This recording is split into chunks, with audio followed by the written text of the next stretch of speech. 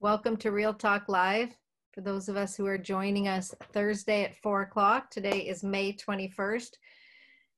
And things continually change under our feet, and our job at the Mulholland Ross Group is to bring you all the information you need so that you can make the best decisions for your family. So I'd like to introduce myself. I'm Ora Ross. We've got Jordan Rosenzweig on the call with us. We have Lauren Rhodes. We have Jack Ross and Davis Mulholland, and we are the Mulholland and Ross group. Well, we have Peter too, but he's just not on this call. Okay, so we did get a couple of questions through the week that um, we want to jump into today, and we want to give you a really good sense today about what the buyers are really talking about out there today on the road as we take them through homes, as we show them homes, as we're doing the virtual open houses, what are the conversations?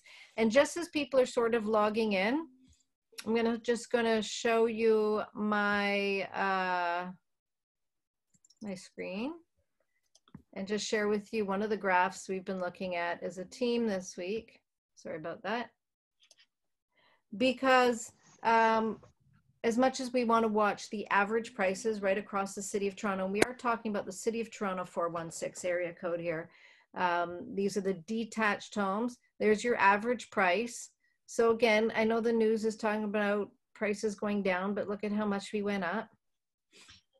So quite steady, guys. This is a fairly steady thing, right? And and I know uh, the agents on the team, myself as well, we're not feeling those prices really pull pull down too much. We're going to get into that. However, this is what's interesting, right? This is the number of units.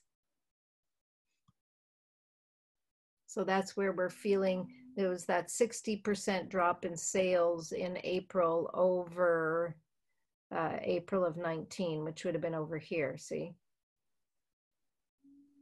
And I'm talking units, not price. Price, we only dropped a little bit, right?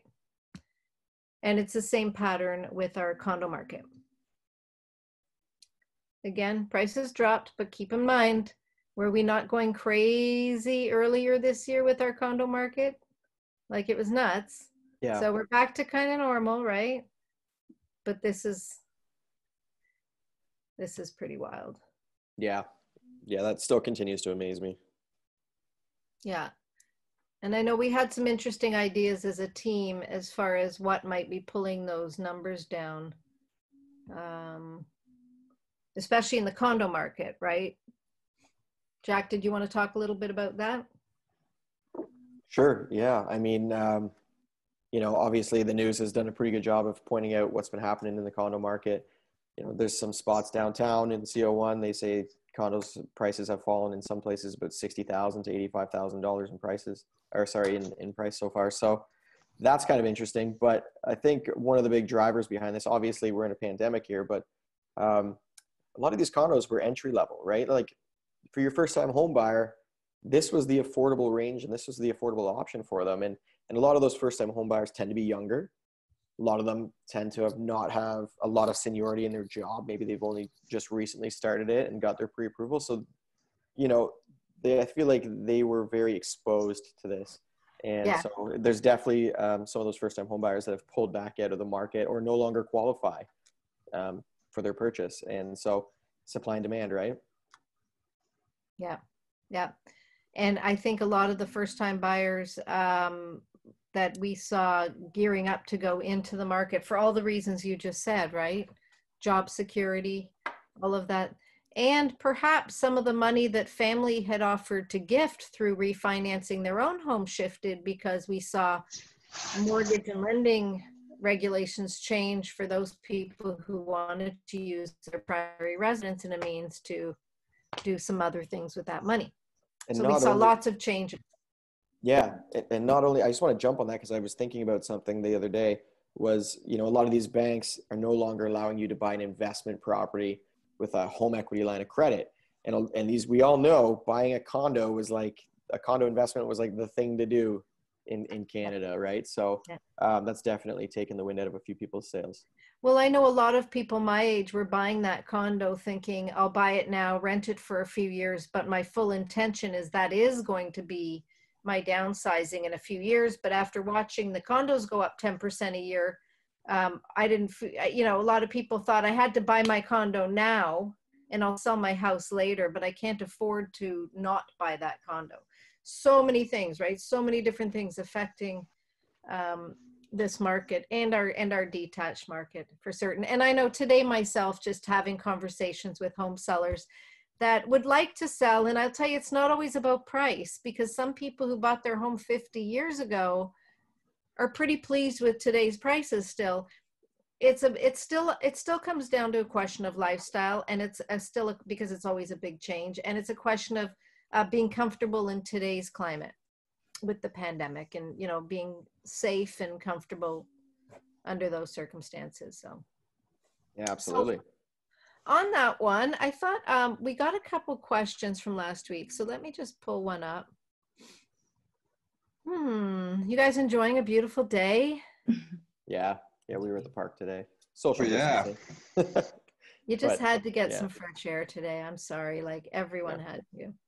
Um, okay, so Jack, we'll start with you because I know you've been out showing a couple of different uh, families, uh, buyers looking for homes. We've got people looking luxury. You've got a couple of investors. You've got a couple of others on the go looking for different things.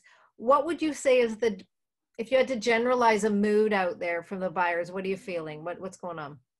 Um, it's a good question motivation so the buyers that are out now that are you know risking going into houses or or are um, putting offers in those are motivated buyers. Anybody that wasn't super motivated is kind of taking a back seat to this because they're they're either waiting or their situation has changed. We're seeing that if, if someone's serious, they're really picking just a couple of houses. Uh, they're doing everything virtually. They're narrowing it down to maybe one or two houses. They're seeing those houses and they're putting offers in. So the right. tire kickers are out of the game. Right. And uh, Jordan, you had some uh, condo showings last week where you started with eight virtually, I think, right? Yep, we started, uh, we did eight virtual showings from the East End all the way to the West End and got through them in an hour and a half because it was all virtual and narrowed it down to the two that they really liked and then physically went and saw the two. Uh, and it definitely is a, is a time saver for, for the buyers because they could get through a lot more and really narrow down. And, and like Jack just said, it's, it's the serious buyers and sellers that are out there now. And that's making for, you know, for easier transactions because the people that are out there are not just trying things they're there because right. you know they need to make a deal or they want to make a deal yeah so, so so that's interesting though i have to ask this then if you've got virtually someone looking at eight properties and they only want to go see two aside from someone just saying oh i don't like the color of that wall or uh, you know what would be something that would make a, somebody virtually go oh i really want to go in and see that house what are the factors I mean, it's the same factors when you when you go through any home. It's it's the location, of course, because you can't change that. Um, a number of bedrooms, bathrooms, uh, condition and age of the property. Um, some of the ones we looked at were great inside, but it was a one was a condo townhouse complex, and the complex was very old. So, you know, that just didn't work for them. Right. Um, layout is always a big key, right? Yeah. yeah. And are, are you guys finding that your buyers can access everything they need to access online before they go out? Or is it? Generally, I mean, it's, you know, we're starting to see more sellers and their agents adopting all of this digital technology so that most new listings now have, you know, all the photos, virtual tours, virtual walkthroughs. Um, they've been doing virtual open houses and walking through with their cameras. So there's a lot more tech in place now that's allowing buyers to see more homes without having to physically go into them and then only narrowing it down to the to the best ones. Yeah. Yeah. The first two weeks, I mean, there was that everybody had to play catch up, right? Some realtors had never used some of the technology that they're using now and they had to adapt. Um, so it's definitely gotten easier for sure.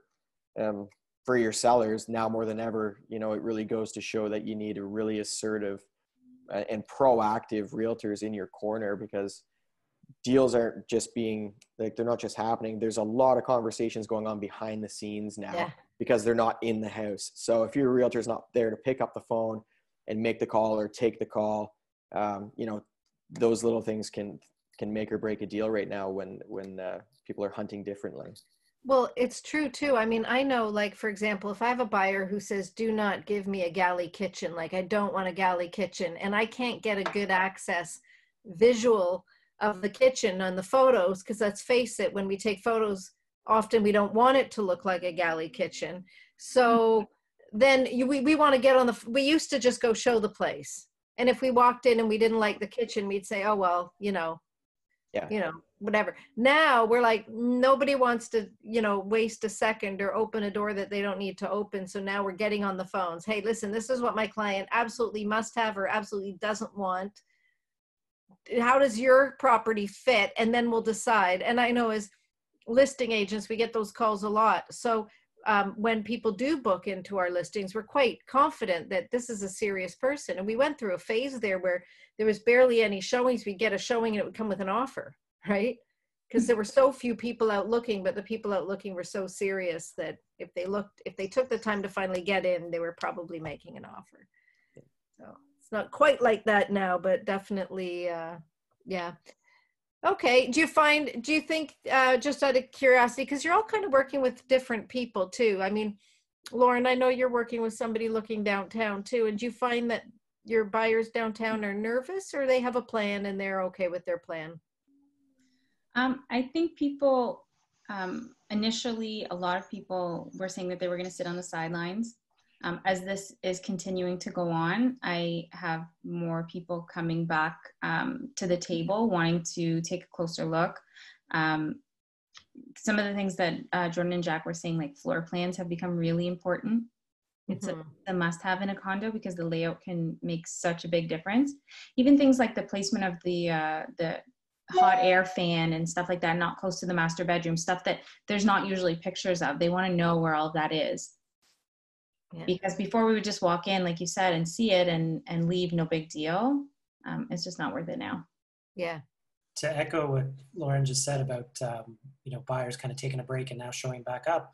Uh, just in this last two weeks, we've had a few of our buyers that same thing. You know, beginning of March or even the beginning of the year, um, you know, they weren't in a rush. There was some hesitancy, and now these last two weeks, I think we've had three new buyers that we've uh, connected to our mortgage brokers to really start the process because there are still serious sellers out there. There's still new properties coming on the market. Yeah. Um, and some buyers will just wait and, and it gives opportunity to the rest of them. Yeah. Yeah, absolutely. Absolutely. Well, it's interesting too because uh, the news is reporting CMHC has been talking about asking buyers to put 10% down, right? So if you were going to be a five a five percent first time home buyer, I mean that would that would motivate me to if I was like you know him and Han, okay, if I don't have the extra capital, then then yeah, I'm going to be shopping now at five percent down. they Mhm. actually feel there might be that little bit of a blip those people sitting on the fence i mean here's the other thing um, typically because i know there's some buyers sitting on the fence like well you know it's the elephant in the room oh the prices might drop some more you know we're going to wait this out type thing and um, but when prices drop typically we see interest rates go up and this time because it's so tied to the economy there is talk about uh, interest rates eventually going back up so if we've got concern about interest rates going up eventually and the potential of needing the bigger down payment just to get in, um, maybe we will see that little surge in the next few weeks, next few months of people just getting in. Because they haven't made the official announcement yet, right? On the five to 10. They're just making noise, right? Yeah, I think it's just noise at this point. Yeah. You know, but you're right. Like if it took you an extra two or three years to save up that extra five percent or longer because of this economy, by then who knows where the interest rates are? Nobody knows, right? So yeah. And it's uh, just if I can add it, it was a really it's a so that's president of the CMHC made that announcement in the House of Commons, and the big part of his speech was the reason why they really wanted to stretch that five percent to ten percent is because they're finding that today a lot of those first time buyers that use that five percent are, are way too over leveraged and um, it's almost like a, a safety plea in order to to more like uh, protect the future first time buyers that that do go with that five percent or ten percent to make sure that if there is a correction, it's not wiping out their equity right away, right? oh yeah, you'd be underwater right away, right? Potentially. Yeah. And CMHC is a government, uh, it's taxpayers' money. So Mhm. you know, we want to make sure it's somewhat secure. There's They don't something want to be taking over the mortgages. No, no, not today. Um, okay. Here's a good question. And again, I know all of you really on the team work with investors or one way or another, but Jack, we'll start with you. If I was an investor sitting on the sideline today, like some of them are, what what might you be telling me? I've got some money. I've I've been pre-qualified. I was all ready to do it 3 months ago. What might you be telling me today? So we're dealing with a buyer investor mm. specifically here. Yeah. Okay. Um, well, I first thing I would want to know is what are you trying to accomplish? What, what what's your goal? Are you looking for something that's going to cash flow, and, and how much money do you need uh, it to cash flow? How much can you put down, and and what's your risk tolerance? You know, because these are uncertain times, and depending on what you're trying to do, there it may be risky if you're looking for you know steady cash flow from a renter per se, like per se. So um, those are big questions to get first and foremost. And you said you're pre-approved. You've got a pre-approval Yeah. in place. So what if I didn't need cash flow, but I just didn't want to lose money? What what might you say? What would be an idea? Oh boy, crystal ball time or what? Like a guaranteed investment strategy? Well, we we can't guarantee anything is real, exactly. But but I think it's safe. We have we've yet to see I think a, a long term investment go really bad. And that's just mean- it. But if you're looking to flip something, I would say that now's definitely not the time. And and uh, you, it'd be hard to justify something like that unless you got something for an incredible price. But at the end of the day, yeah, I mean, the only thing I would suggest is going long term, ten years plus. Just You know. plan for that, right? Hold it in, yeah, hold you know, hold it as long as you can, and make sure that you you have money aside uh, in order to hold it if Yeah. you can't rent it or if your renters aren't paying for sure. So a lot of planning, definitely a lot of planning. Lauren, what are you seeing um, from your builders and investors now? Are they are they just sitting and holding, or are they? What do you think you're going to see in the next year? Um, I think a lot of them are going to start uh, chomping at the bit a little bit because everybody only wants to be on hold for so long, and then they want to make a move, and it might not be that the buyers and sellers line up right away, but um, some of the things we did, we were doing in the past is we were um, selling properties, and then the owners were staying on as a renter. I think that could be a safe bet for investors today with almost a built-in tenant especially if we structured the deal where all of the rent money was either coming off the price or something so there was no risk to either side about you know having to pay rent in the meantime so i mean certainly people are calling asking about what opportunities we can tell them about and then we're passing that on to our potential sellers trying to you know put people together Yeah.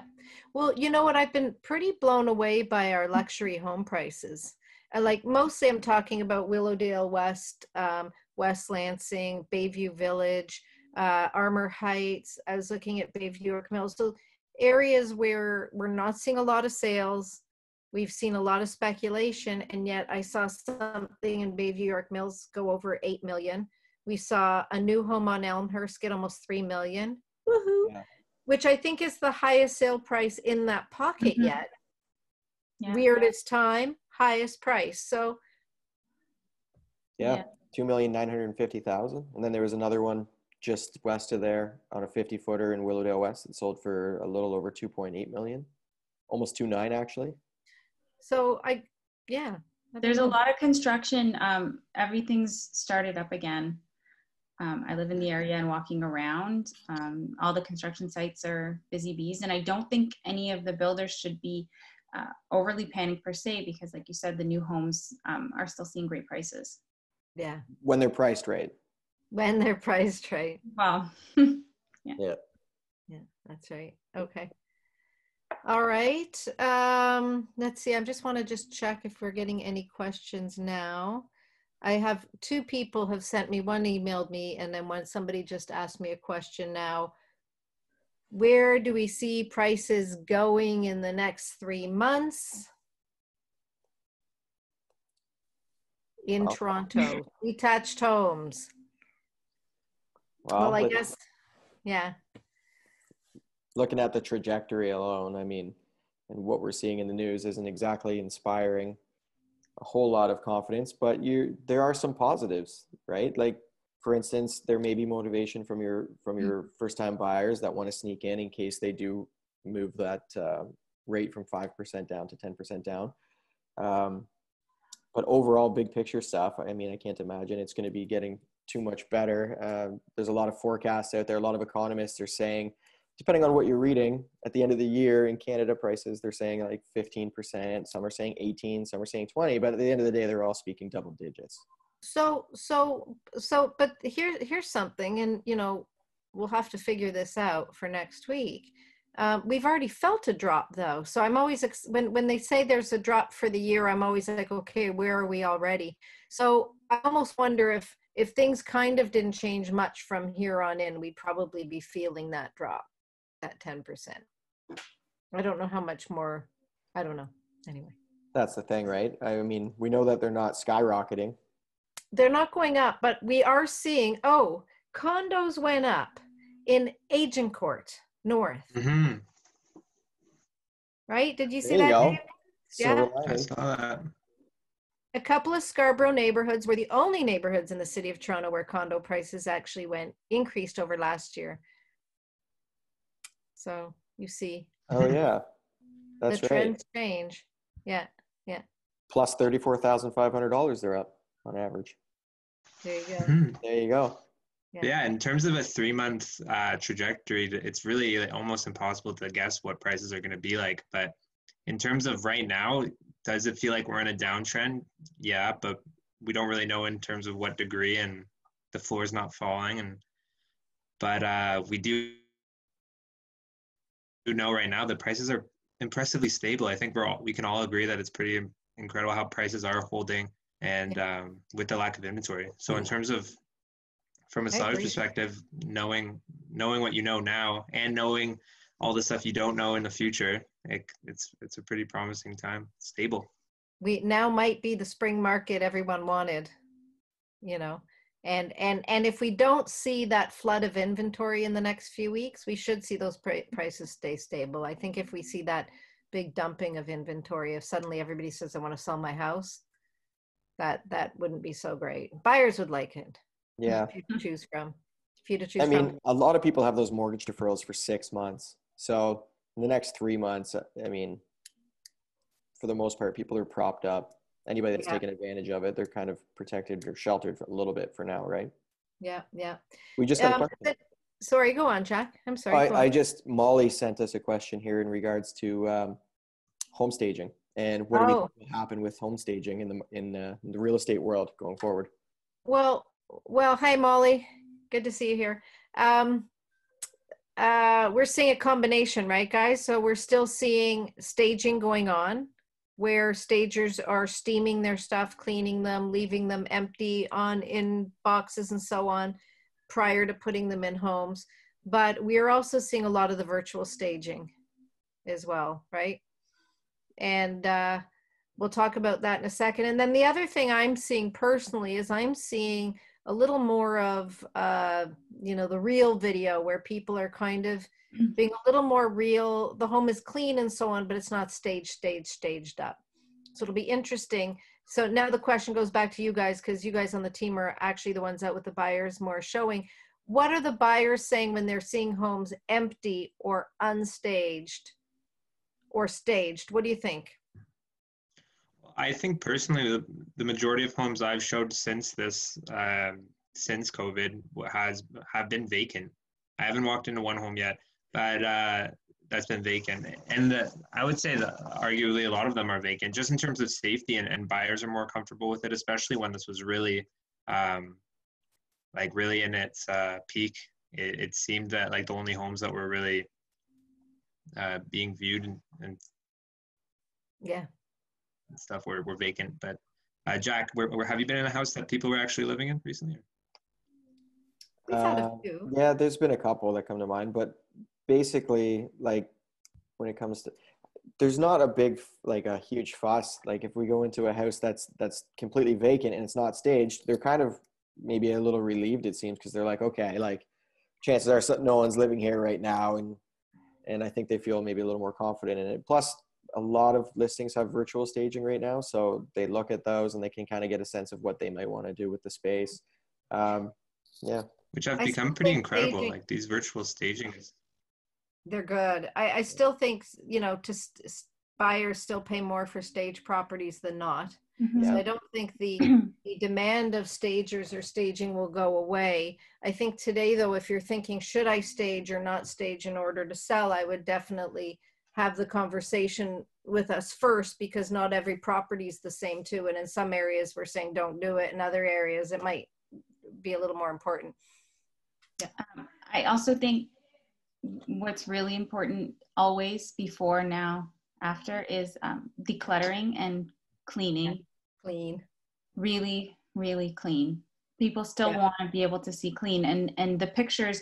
We always told um, our clients not to worry. The pictures don't show the dust bunnies. They don't show this. But now that we're going in with our cameras and we're doing the close-ups, more stuff will show. Yeah.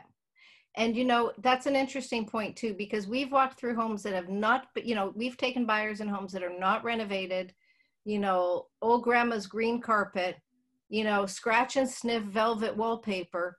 It's clean as a bug's ear, Mhm. and the buyers pick up on it and they Mhm. walk through and they'll be like, I love how clean it is. It How feels good. I love that you just said clean as a bug's ear. I know. That's a. Definitely use that one. that was my mother-in-law's famous one. Yeah. I think It was the actually, I think it was cute as a bug's ear. Sorry.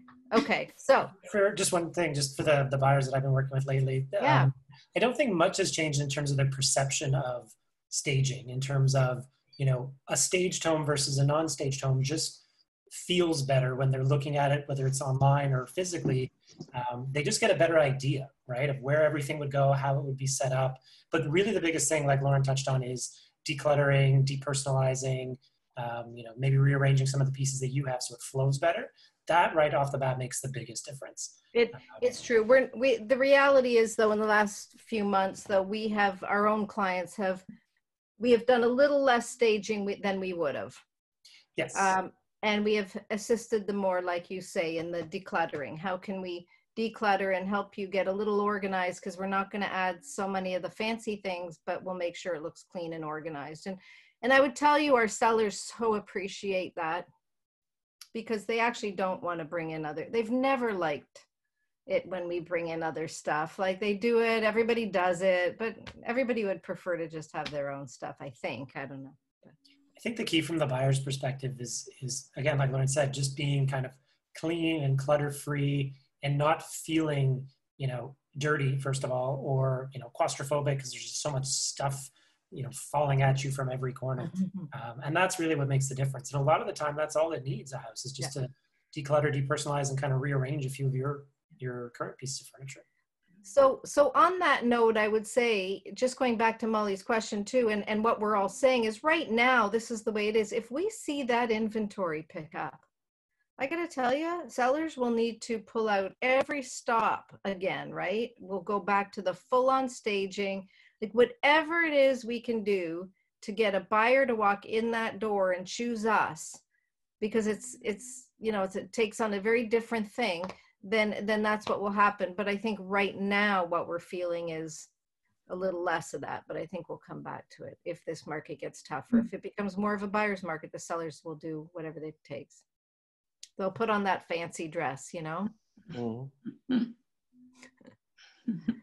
so um any other questions? Now jordan i think we have a guest next week correct Yes, so we are bringing in a, uh, a longtime paralegal to discuss landlord and tenant issues.